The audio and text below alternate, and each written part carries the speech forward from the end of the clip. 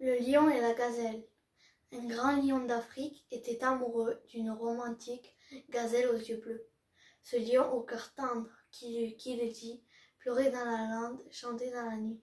Sur mon territoire, sans risquer ta vie, tu peux venir boire à l'eau de mon puits. C'est fini la guerre que l'on se faisait, contre ma crinière, viens dormir en paix. Il mit tant de flammes dans son beau discours que même un hippopotame en pleura d'amour. Les, étoiles au ciel jaillirent de partout quand la demoiselle vint au rendez-vous. Les loups, les panthères, les rhinocéros et même les dromadaires vinrent pour les noces. Ils se marièrent et de leur union naquirent ma chère des petits gazillons. Hugo Frey.